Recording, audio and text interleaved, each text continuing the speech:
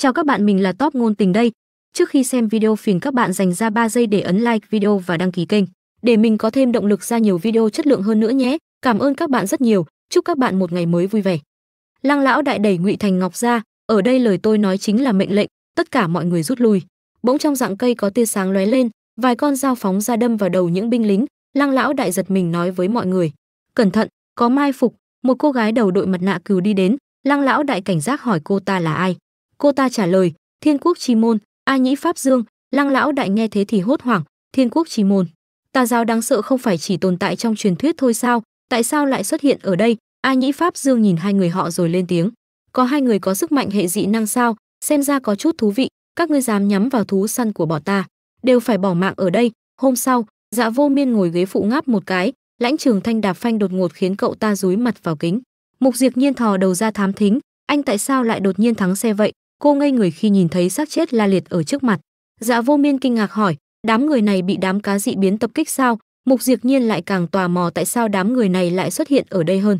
Mục Thiên Huy ngồi xuống xem xét lên tiếng, không đúng, từ miệng vết thương của họ thấy, những người này không phải chết bởi đám cá dị biến kia, mà là bị vũ khí sắc bén đâm chết. Chuyện càng kỳ lạ hơn là, những ấn ký được khắc trên trán của những thi thể này, bên trong rừng có một tiếng kêu cứu vang lên.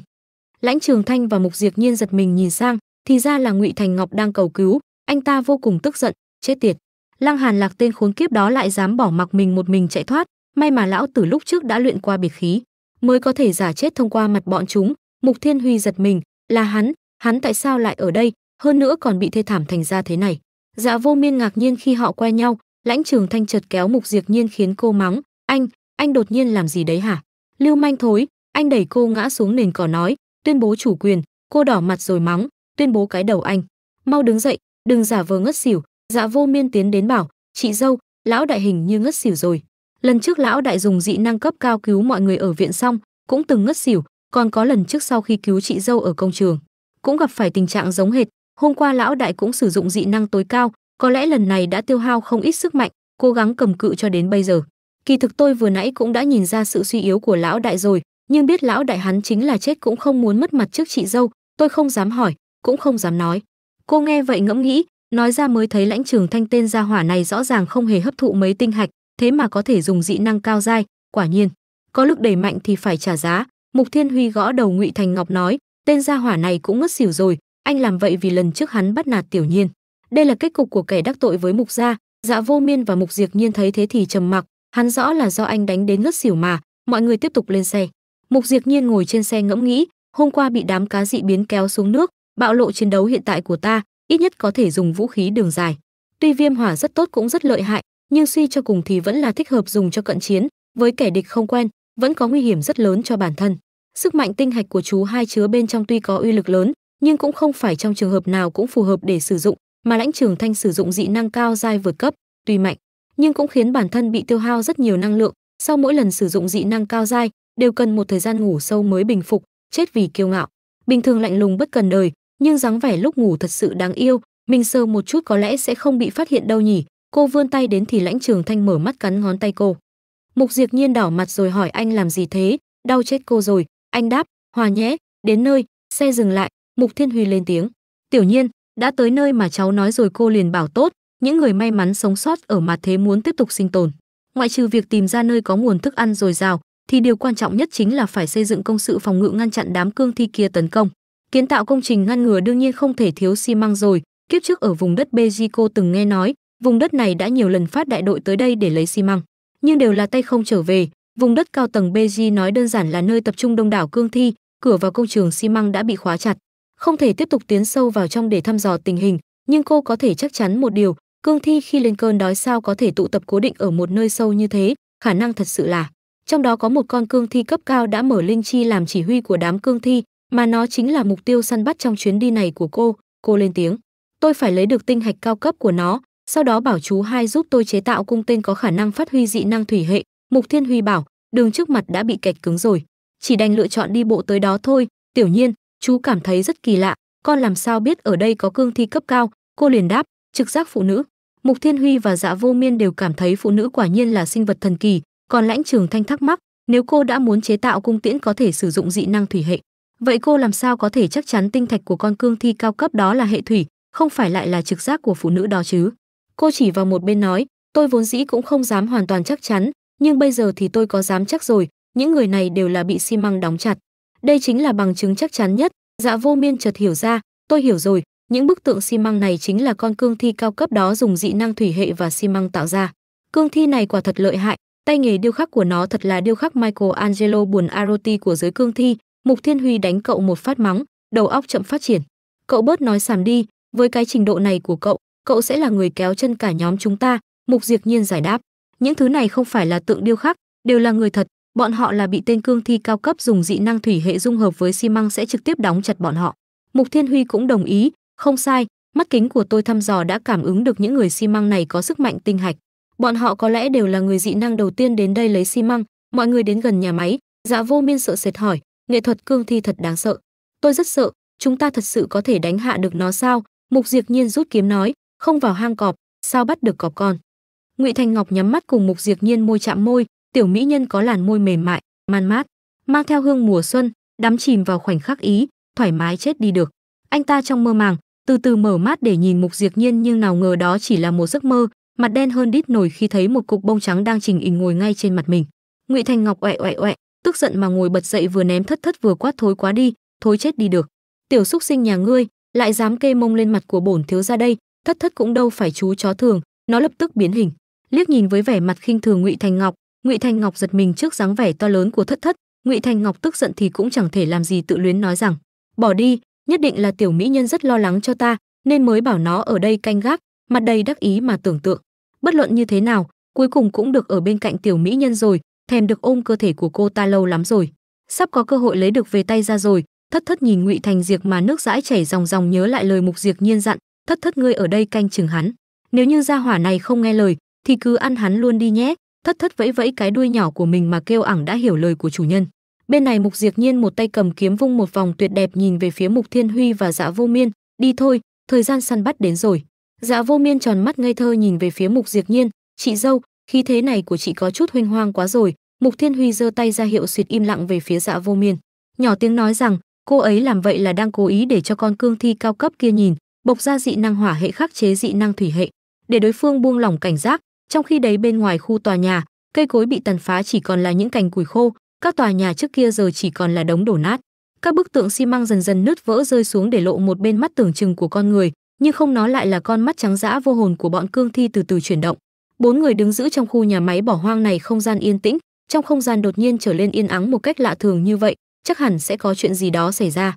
Mục thiên huy nhận thấy tình hình này mà quay sang nói rằng sự yên tĩnh này thực sự có chút không bình thường, nghi hoặc mà nói thêm, hơn nữa nơi cương thi tập trung.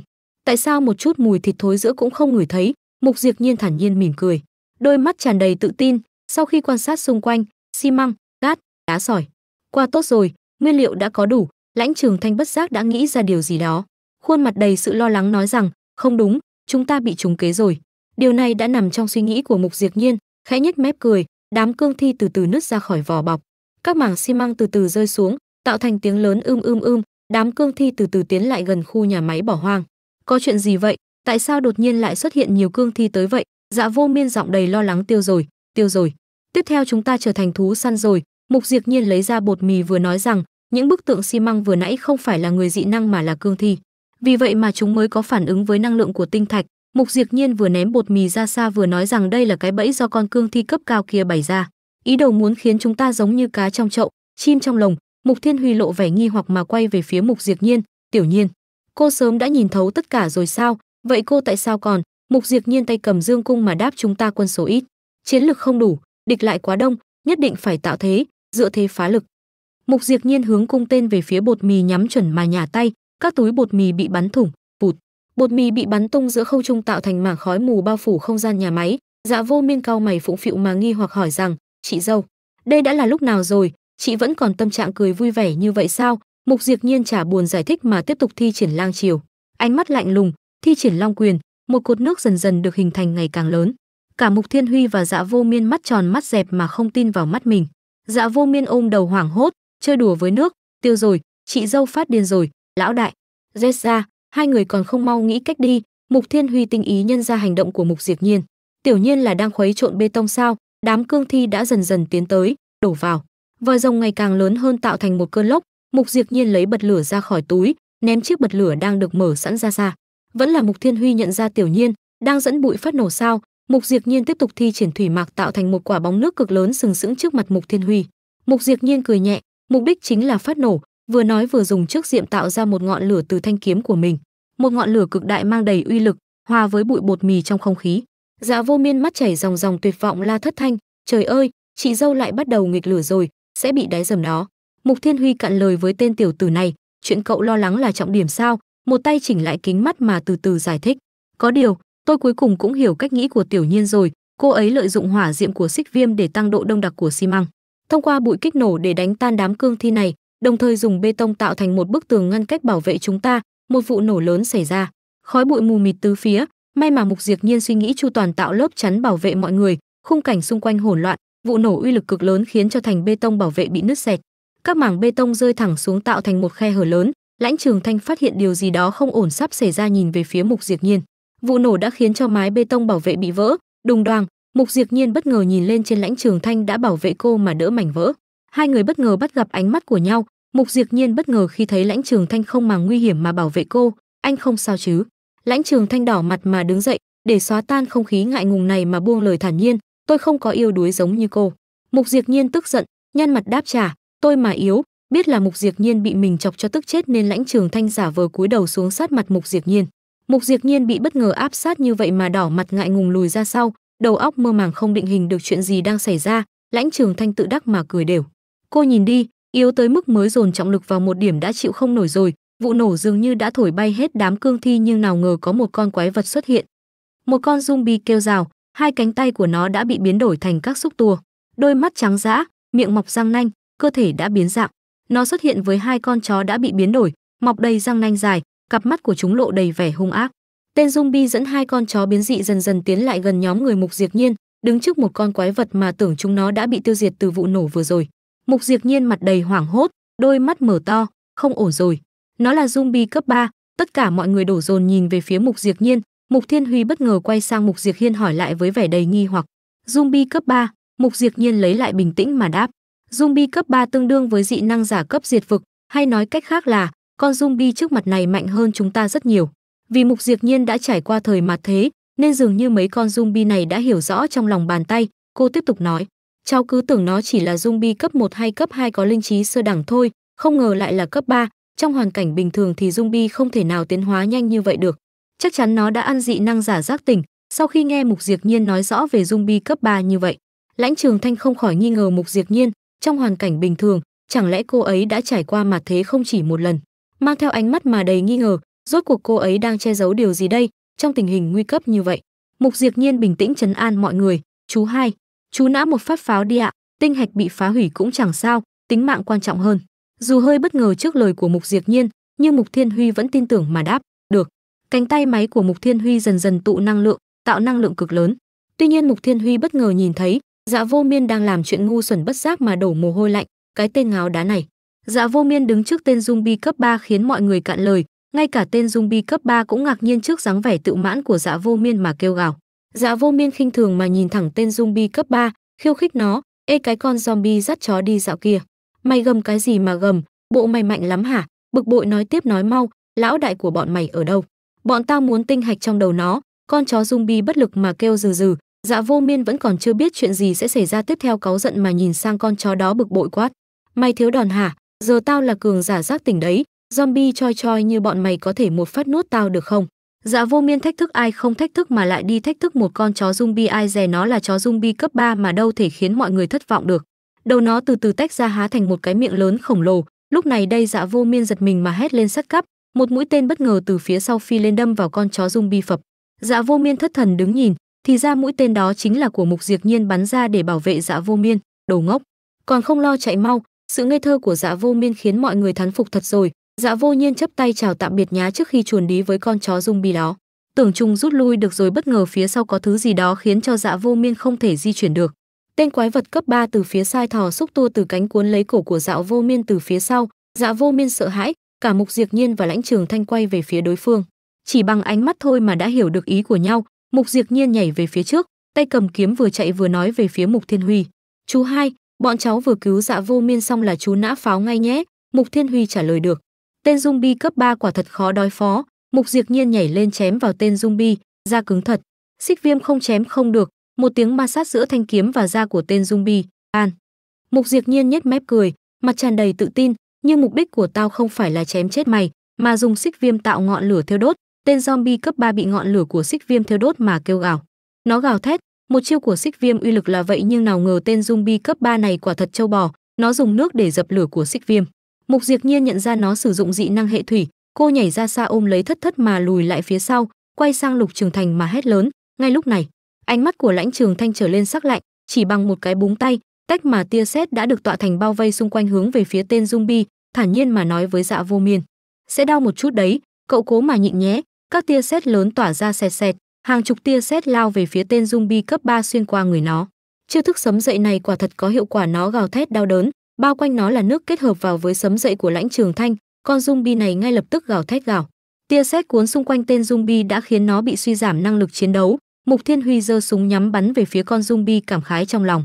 Dùng dị năng hệ lôi giật chết con zombie cấp 3 thông qua nước dẫn điện, liệu chiêu này có thể dùng được không đây? Dù nghi hoặc nhưng chỉ còn cách liều vậy thôi.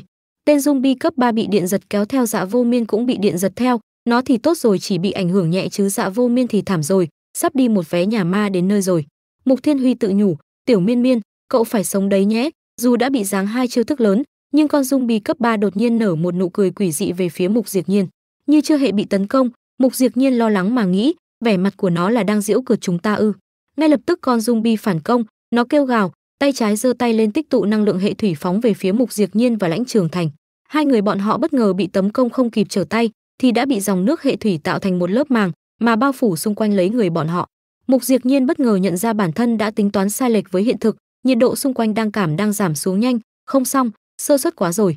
Cả cơ thể đã dần dần bị băng tuyết bao phủ, Mục Diệt Nhiên la lớn cẩn thận, nó đã có thể sử dụng hình thái cấp cao của dị tháo năng lượng hệ thủy. Mục Diệt Nhiên bị đóng băng nhanh đến mực bằng mắt thường có thể thấy, cả Lãnh Trường Thanh và Mục Diệt Nhiên đã bị đóng băng. Mục Thiên Huy hét lên tiểu nhiên, bỗng có tiếng nói từ phía con zombie, "Z, Z, nã pháo vào tôi đi. Đừng lo cho tôi, cứ nã pháo đi." Dạ Vô Miên bị tua xúc cuốn vào cổ ngày càng chặt, anh ta tự trách bản thân, đều tại mình, đã hại chị dâu và lão đại, mình không thể hại rét thêm nữa, dù có nói thế nào chứ Dạ Vô Miên vẫn yêu đời lắm.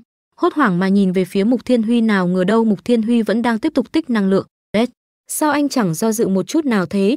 Sao anh lạnh lùng vô tình, thủ đoạn ác độc vậy? Biết là nguy hiểm, Mục Thiên Huy ngẫm ra rằng, tuy rủi ro rất lớn nhưng bây giờ chỉ có thể bất chấp vậy thôi, nếu mình cố ý bắn lệch đi, khiến năng lượng pháo lức quan sát con zombie thì có lẽ có thể cứu cậu ta. Mục Diệt Nhiên dùng chiêu thức của hệ hỏa để làm tan chảy lớp đá bao quanh khiến nó tan ra. Mục Diệt Nhiên dù có bất động vẫn khinh thường con zombie này mà nói đồ ngốc. Muốn làm anh hùng thì cũng phải có sự đồng ý của tôi chứ. Vừa nói vừa nhìn về phía con zombie mà khinh thường, lửa xung quanh dần dần được tạo thành. Mục Diệt Nhiên tay cầm xích viêm dồn lực tấn công về phía trước, ngọn lửa trên xích viêm hừng hực cháy sáng. Trước tình hình nguy cấp như vậy, Mục Diệt Nhiên vẫn có niềm tin mãnh liệt rằng mặc dù mình không thể giải thích tại sao, nhưng trong lòng mình cứ có một cảm giác, cảm giác vô cùng vững tin, con quái vật vươn xúc tu tấn công về phía Mục Diệt Nhiên, Mục Diệt Nhiên nhảy lên trên cao giáng xuống một đòn từ trên trời xuống. Xích viên quả là thanh kiếm có sức mạnh cực đại phá tan thủy hệ của tên zombie cấp 3, Mục Diệt Nhiên nắm chặt xích viêm chặt đứt cánh tay của nó. Âm thanh va chạm của thanh kiếm với lớp da dày của nó tạo thành tiếng canh canh canh, giống như tiếng kim loại va vào nhau, Mục Diệt Nhiên tin bọn mình vẫn có phần thắng. Con zombie chặn được các chiêu tấn công của Mục diệt Nhiên khiến Mục diệt Nhiên ngày càng tức giận, mày đang giễu cợt bọn tao hả? Con zombie cấp 3 cười đều nhếch mép nhìn về phía Mục diệt Nhiên, nó đã chạm vào giới hạn của Mục diệt Nhiên thật rồi, Mục diệt Nhiên nhảy lên trên cao, dùng toàn lực cùng với xích viêm, tạo thành ngọn lửa lớn hướng về con zombie mà đầy tức giận, khốn kiếp, vẻ mặt của mày trông xấu chết đi được. Nhưng dường như con quái vật này đâu phải hạng xoàng, nó nhanh tay thừa dịp phản công mà vươn cánh tay bóp lấy cổ của Mục diệt Nhiên. Mục Diệt Nhiên bị con zombie cấp 3 nắm chặt không thể thở nổi, từ đâu bay ra một con dao nhỏ về phía con zombie, tiểu nhiên, con dao nhỏ nhanh chóng bay vút qua chúng vào tay con zombie. Bị bất ngờ tấn công nó gào thét trong đau đớn, niềm tin của Mục Diệt Nhiên ngày càng mãnh liệt, phần thắng của bọn mình chính là anh ta, Lãnh Trường Thành. Con zombie bị con dao của Lãnh Trường Thanh đâm vào cánh tay khiến nó thả Mục Diệt Nhiên ra, Lãnh Trường Thanh thuận thế đâm ngày càng sâu vào cánh tay của con zombie. Lãnh Trường Thanh nở một nụ cười nắm chắc phần thắng nhanh như chớp khiến cho con zombie không thể phản kháng, ánh mắt sắc bén nhìn về con zombie đang bị đau đớn. Hàng ngàn tia sáng tỏa ra từ con dao của Lãnh Trường Thanh, con dao ngày một đâm sâu khiến cho cánh tay của con zombie bị đứt rời, xoẹt.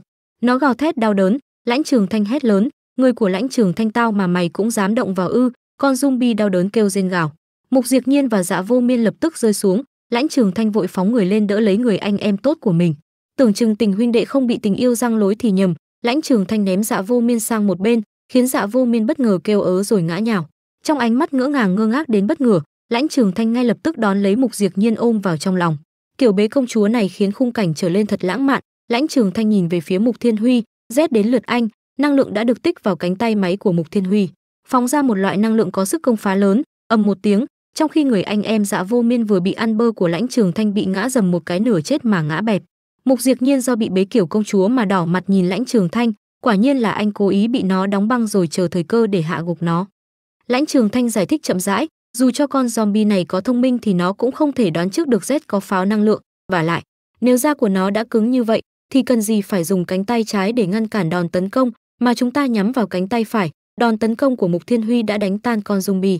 Uy lực có sức công phá kinh người nên đã thổi bay nó, chỉ bằng cách nhìn hành động của con quái vật mà lãnh trường thanh đã đoán ra. Vì thế mà tôi đoán rằng, nó bắt dạ vô miên không phải vì đề phòng đòn tấn công của pháo năng lượng, mà để che giấu cánh tay phải xúc tu là nhược điểm của nó lãnh trường thanh quay đầu nhìn mục diệt nhiên, còn cô, sao cô lại vững tin rằng tôi cố ý bị đóng băng? Sao phải làm tất cả để tạo cơ hội cho tôi? Mục diệt nhiên tự tin trả lời, trực giác của phụ nữ. Lãnh trường thanh ghé sát mặt vào mục diệt nhiên mà đùa, ồ, trực giác của cô không nói cho cô biết tôi sẽ làm gì tiếp theo à? Tình trong như đã mặt ngoài còn e. Mục diệt nhiên giật mình bất giác đỏ mặt, lãnh trường thanh trực tiếp buông tay, khuôn mặt bình thản không nói nhiều lời mà khiến cho mục diệt nhiên tiếp đất một cái bịch. Mục diệt nhiên tức giận đầm đầm sắc khí quát lớn, lãnh trường thanh tên khốn kiếp này, đôi mắt biến thành hình con dao về phía lãnh trường thanh. Sắc trời ngã vàng, ánh chiều tà dần dần buông xuống, bầu trời ban đêm thật đẹp, muôn ngàn ánh sao lấp lánh tự như những viên kim cương trên nền trời cao. Trận chiến kết thúc, mục thiên huy phải công nhận tinh thạch của con zombie này quả thực không tầm thường, không ngờ tinh thạch của con zombie cấp 3 lại cứng đến vậy. Pháo năng lượng bắn thế mà chẳng bị hư hại gì, mục diệt nhiên cũng ngớ người, mình cũng chẳng ngờ luôn, dù sao thì kiếp trước mình đâu có gặp được người như chú hai. Lấy đâu ra pháo năng lượng mà bắn tinh hạch chứ? Trong lòng cũng không ngừng hạnh phúc. Lần này chúng mánh rồi, không chỉ lấy được tinh thạch cấp 3 hệ thủy, còn thi hoạch được nhiều tinh hạch bình thường nữa chứ. Lòng đầy nở hoa mà nghĩ về món chiến lợi phẩm này, lãnh trường thanh cũng hấp thụ tinh hạch bình thường để bổ sung năng lượng đã tiêu hao rồi. Nên không bị ngất nữa, xích viêm bất ngờ đâm xuống đất phát ra luồng ánh sáng màu đỏ, chiếu sáng ra xung quanh. Mục diệt nhiên bất ngờ nhận ra có chuyện gì đó đang xảy ra. Thất thất hai mắt nhắm tị quay vòng vòng ngất lịm đi, khói từ đâu tỏa ra ngày càng mịt mù những người khác trong nhóm cũng không còn tỉnh táo mà nối tiếp nhau ngã xuống, mục diệt nhiên nhận ra, đây là khói mê hai tay nắm chặt, may mà có dây chuyện không gian bảo vệ mình, chỉ có mình mình là chẳng bị hít khói mê.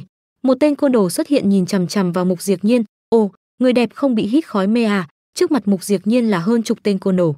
Mục diệt nhiên mặt mày tối sầm, anh là ai? Bỗng một bàn tay đặt trên vai của tên thủ lĩnh côn đồ, hóa ra là tên ngụy thành ngọc.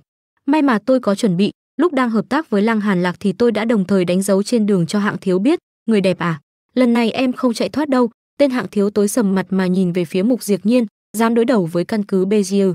Hôm nay bọn mày phải chết ở đây. Ngụy thành ngọc hốt hoảng, khoan đã, hạng thiếu, không phải anh nói để người đẹp lại cho tôi sao? Hắn quay người nhìn về phía ngụy thành ngọc, đội trưởng ngụy chớ nóng vội, hạng thiếu tôi nói lời sẽ giữ lấy lời. Có điều lúc đội trưởng ngụy hưởng dụng người đẹp thì đừng quên mời tôi chung vui né hắn nhếch mép cười ngụy thành ngọc ấp úng định bợ đáp, tất nhiên tất nhiên rồi, hắn hạ lệnh cho thuộc hạ, nam thì giết hết, chỉ giữ lại người đẹp để mang về. Bọn thuộc hạ nghe mệnh lệnh từ hạng thiếu vâng chúng rút súng từ bên hông mở chốt khóa an toàn. Bắt đầu lên đạn hướng về phía nhóm người mục diệt nhiên, một tên thuộc hạ cảm thán, bọn mày không may mắn rồi, dám chống lại căn cứ bê gì lên đường mạnh khỏe nhé, sắc mặt hắn tối sầm lại chuẩn bị bóp cò, mục diệt nhiên ngán ngẩm mà đáp, không may mắn, lưỡi đao của xích viêm dần dần tóe lửa, một màu đỏ rực như nung mục diệt nhiên hai tay cầm lấy xích viêm đang cháy sáng lạnh lùng. Là bọn mày ấy, rồi sau đó cô lao về phía đám thuộc hạ xử lý từng tên một. Xích viêm chém tới đâu kêu kêu xoẹt một tiếng như đang chém vào từ lát dây mỏng vậy. Cứ như vậy mà đám thuộc hạ dần dần bị tiêu diệt dưới lưỡi kiếm xích viêm của mục diệt nhiên. Trước tình hình đó, cả ngụy thành ngọc và hàng thiếu đều bất ngờ trước khả năng của mục diệt nhiên.